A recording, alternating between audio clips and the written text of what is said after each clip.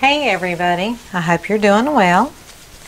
It's been a few days since I've done any painting. I've got a conference workshop coming up in two weeks and trying to get prepared for that and moving into a new house and everything else. I had my sister visit for the weekend from Tennessee and she went back Monday. Took her back to the airport, so just had a lot going on. Um, you know how that goes. Sometimes life just comes in spurts, and sometimes there's just a lot going on at one time, and that's been the case for me. So I've been on a roll here lately where I've been using DecoArt metallics and trying to come up with a painting for my master bathroom, and I've done several that were beautiful, and the couple of them turned out great, and they ended up going in my hall bath. So I'm still trying for the right color combination for my master bathroom. So today I'm going to be pouring on a 20 by 20 inch canvas. All the colors are pretty much DecoArt. Uh, still using the Peacock Pearl with just a hint of green in it. And this is the Rich Espresso with the little antique bronze. The antique bronze comes in an 8 ounce container instead of a 2 ounce bottle. It might come in the 2 ounce bottle, but that's the way I get it is in 8 ounce tubs. And here's the Rich Espresso, which is a beautiful bronzy golden color. The, uh, the copper is super red, so I've toned it down a little bit with some gold, hopefully so it's not quite as reddish as it has been. I've got my um, silver and pewter mixed together. The silver is quite pale and the pewter is kind of dark. It's beautiful though. It's got a bluish cast even. It's, it's really gorgeous. So I have mostly silver with some pewter mixed in with that. And I decided to leave out the milk paint totally. I don't want any white in it. And I've got a metallic gold. It's a different brand. It's got some glitter in it. I like it because sometimes it gets really thin and it kind of spreads out through the paint and you see that shimmer of the glitter. This is the actual wall color in the bathroom, which is a warm charcoal gray color. So, but you can see how warm it is compared to the silver pewter. It's got a lot more brown in it. I have some of the just regular uh, metallic gold of Deco Art. It's got a little of the sparkly in it, but that's not the 24 karat gold, it's just the regular gold. And I mixed up this color between white and orange and a little brown. This is in my tile of the floor. The floor tile is kind of uh, a peachy color with rusty tones and browns and grays. So that's, this is basically my lightest color besides the pale metallic gold that has some glitter in it. So I decided not to use any white or a cream color. I don't want any light colors. So this is my lightest pretty much. And I'm going to do the same method that I've been doing in the other paintings that I've done. The uh, tree ring pour, and I do three puddles. So I've got five ounce cups. I'm going to fill these to the brim, and then I'm probably going to put a little extra paint on the edges just to make sure I have enough because it really takes about 14 or 15 ounces of paint to cover a 20 by 20 inch canvas. Then you need a little bit for the sides as well. So I'm going to layer these into a cup first. Whatever you put in the cup first will be the last thing to come out on a tree ring pour. That totally makes sense. You put it in first, it's going to come out last. So I want probably this beautiful teal metallic color.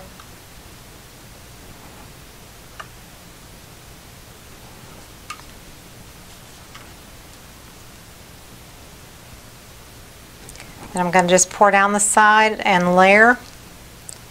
And I'm going to put the wall color.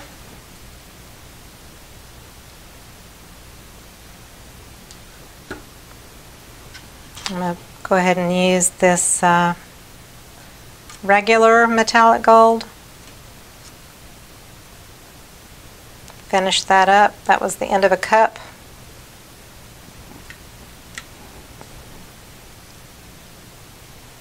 This peachy color. It's almost like an adobe peach color, like a adobe terracotta. I'm just going to basically put one one layer of that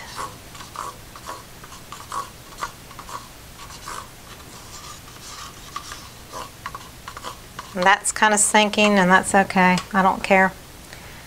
Then I'm going to put the copper right after that because if anything I want it to go um, a little deeper as opposed to lighter.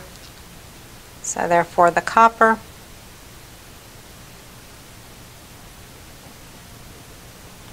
I don't have OGX in any of the colors except for this does because I can see it as it lays. I've, it's got the little cells going on. I had a few colors from a paint party. You can see the cells.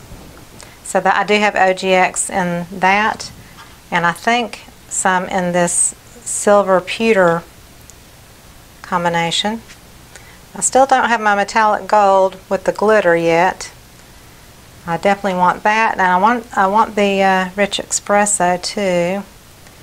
So I'm just going to pour those right into that cup that way. So this is going to fill these cups up totally.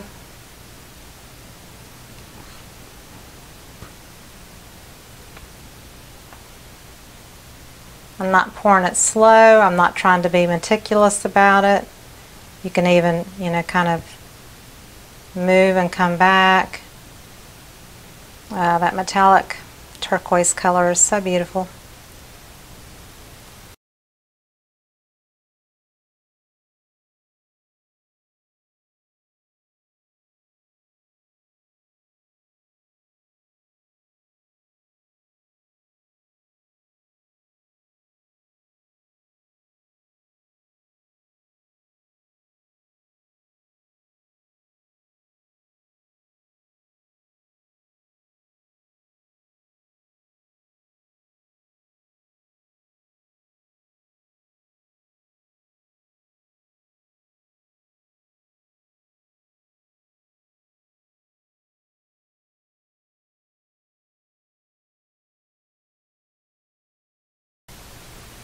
I want to make sure my turquoise is closer to the middle and doesn't get poured off. So that's why I let, I let it kind of come this way.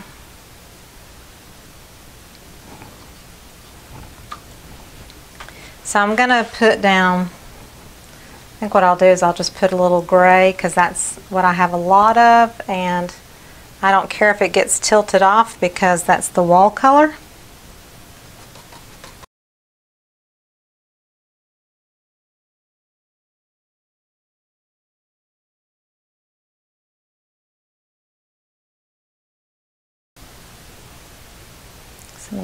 Turquoise just, I call it turquoise, it's called peacock pearl, but you know, it looks like turquoise, so. And then just going to go through to kind of break up the shapes a bit to make it a little bit more random. Let me go ahead, I'll just heat it real quick just to get rid of air bubbles. And I don't think I mentioned, but the paint recipe is one-to-one -one paint to Floetrol, latex-based. Make sure it's latex-based. And with metallics, you have to add water. It is, metallics are heavier and thicker because they're more pigmented and the metallics are in them. So you've got to, uh, to add some water to get it to the right consistency. So I'm just going to start tilting. I'm not going to quite take it off the canvas yet, I don't think.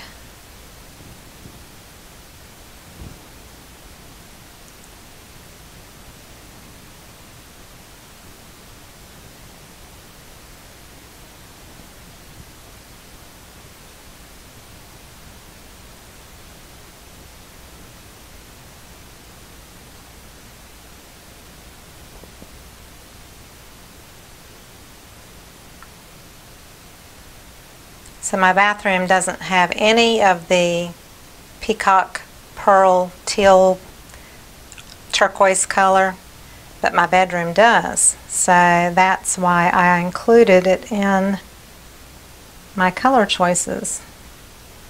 So this all has to do with the decor.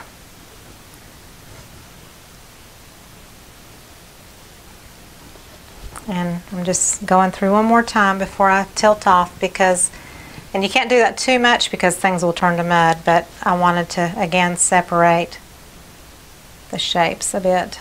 I think I'll just start on this corner.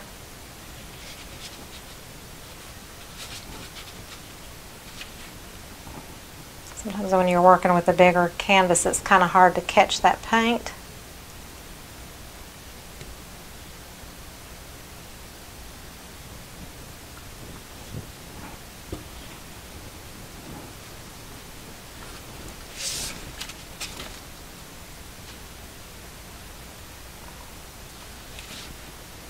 I'm trying to keep that turquoise on there.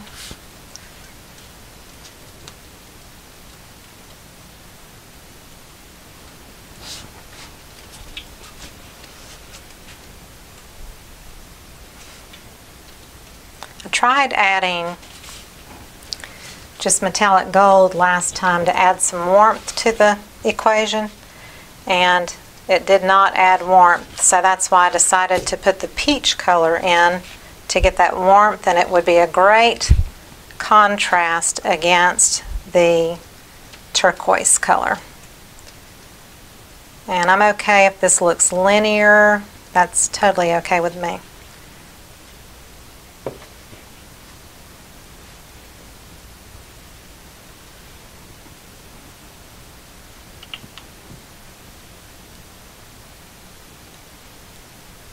I'm just going to see if I can distribute that turquoise color a bit more. And if I can't, I can't. I don't want to lose it though off this edge. But I'm loving it. I'm loving the turquoise, as always. It's so beautiful.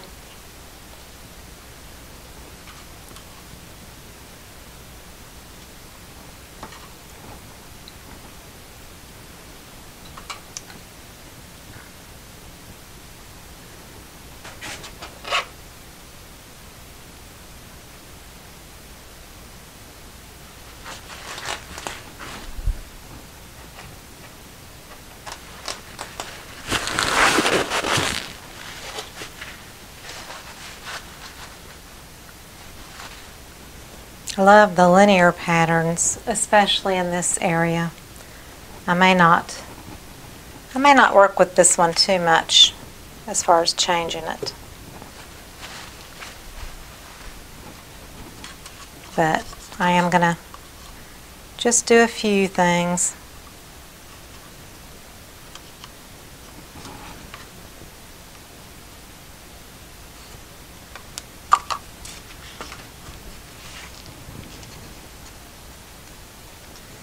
So I'm taking my leftovers from my three little cups.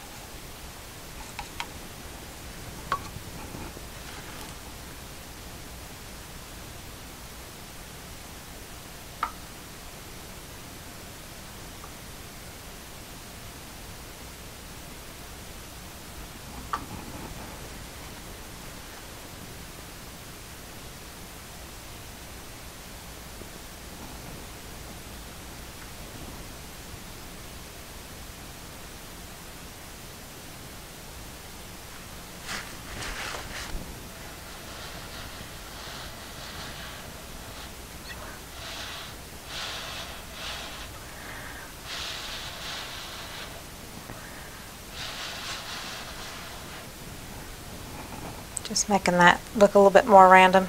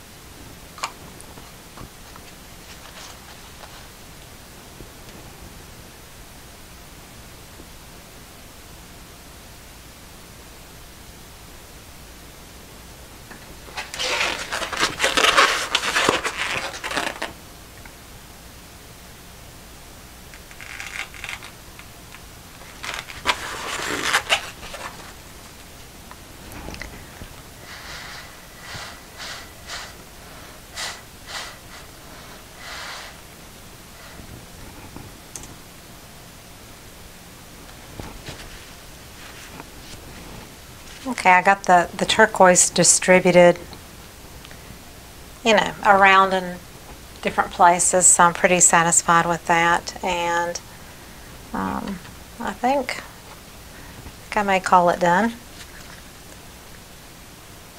I think I'm going to cover up some of this right here.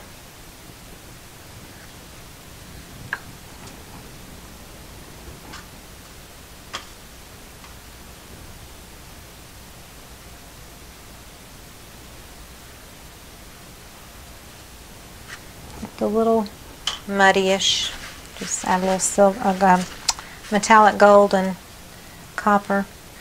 So the pewter color didn't show up as much, maybe because I have that warm gray that's here showing up kind of as a muddy brown, but that's, like I said, that's the wall color, so that should work with the wall pretty well. So I think I've got some big cells popping up. And I didn't really want cells, but I will take them. Like I said, there was some OGX left in some colors, and if you have OGX in your paints, you're gonna you're gonna have cells regardless. So there's not a whole lot I can do about that.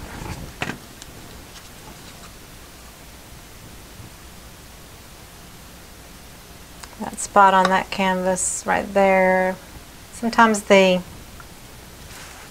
silicone or OGX goes down to the surface of the canvas and you can see the canvas and you don't want that. So just trying to make sure that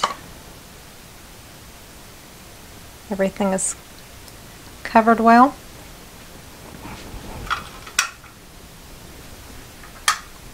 Turn off the overhead spotlights that I have just so you don't have the shine on it on the top but this gives you a truer sense of the color.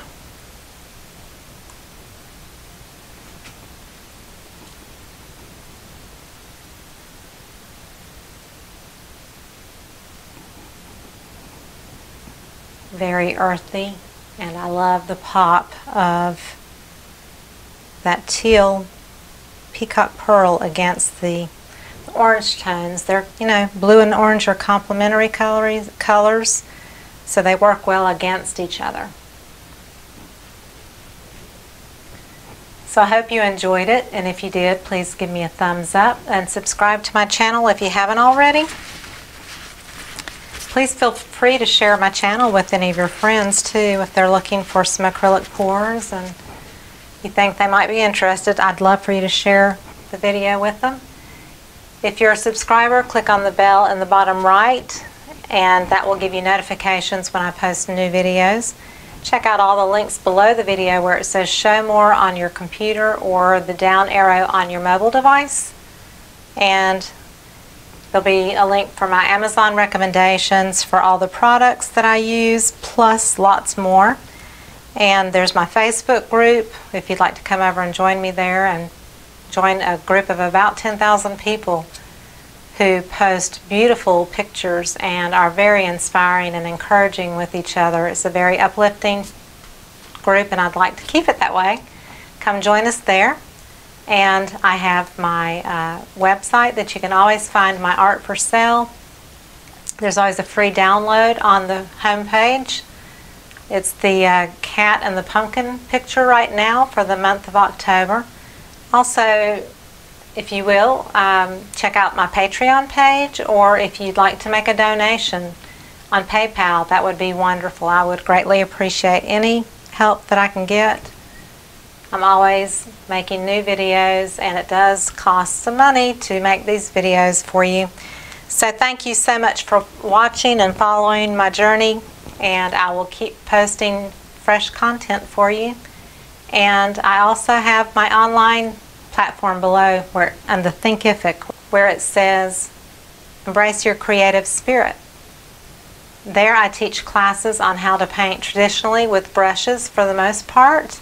For those that do not know how to uh, paint with acrylics, I can teach you from start to finish how to do a painting. I've got at least 10 or 11 classes there that you should check out and I constantly add two classes a month for that.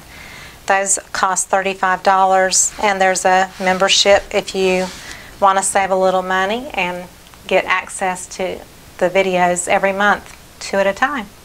Thank you so much for watching and I will see you on your next video that you watch for me and you have a fabulous day. I'll see you next time. Bye-bye.